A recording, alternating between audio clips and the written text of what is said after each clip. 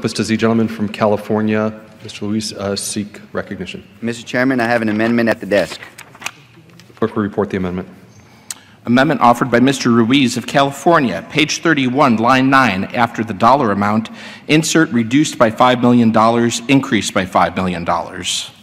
Pursuant to House Resolution 223, the gentleman from California and a member opposed, each will control five minutes. The chair recognizes the gentleman from California. I would like to start off by saying thank you to Chairman Dent and Ranking Member Bishop for your hard work uh, on this uh, appropriations bill. I rise today to offer an amendment to H.R. 2029, the Military Construction and Veterans Affairs and Related Agencies Appropriations Act for 2016.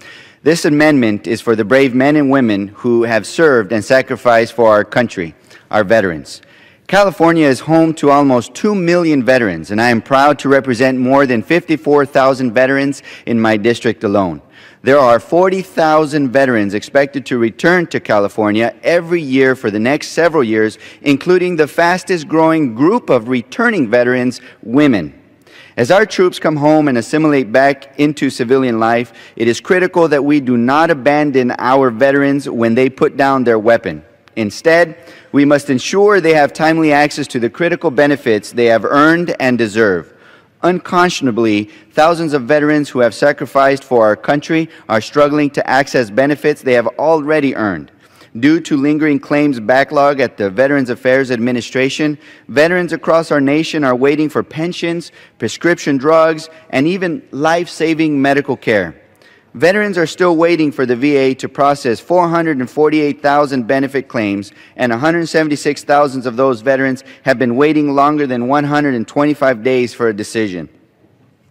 Our work to clear this harmful backlog is not finished and we owe it to these courageous men and women to do so as soon as possible.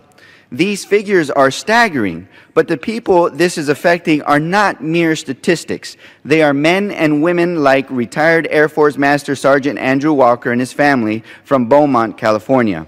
Mr. Walker and his family waited years on end without receiving the critical care he was promised, earned, and desperately needed. While I am heartened that I was able to help resolve Mr. Walker's claim, the backlog remains an enduring nightmare for too many veterans across the country. Reduced to a claim number and a seemingly endless line, veterans experience pain, frustration, hopelessness, and despair. Although the backlog has shrunk since Congress last passed a similar appropriations bill, we must not lose sight of the, of the importance of getting veterans like Andrew Walker their hard-earned benefits as soon as possible. As a member of the VA committee, I am fighting to change the culture at the VA from the inside out by focusing on veteran-centered care and ensuring that the VA continues working to eliminate this backlog we can take much needed steps in keeping faith with our veterans and getting them the benefits they've earned.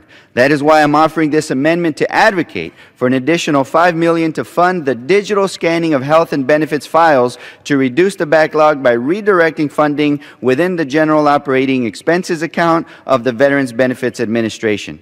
This amendment simply directs funds towards the digital scanning of health and benefit files that will reduce the claims backlog without any new spending.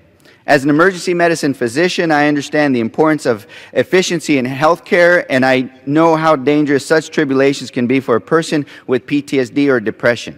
By committing resources to digitizing health and benefits files, we will further increase VA's capacity to tackle the claims backlog, ensuring veterans receive the benefits they have earned in a timely manner.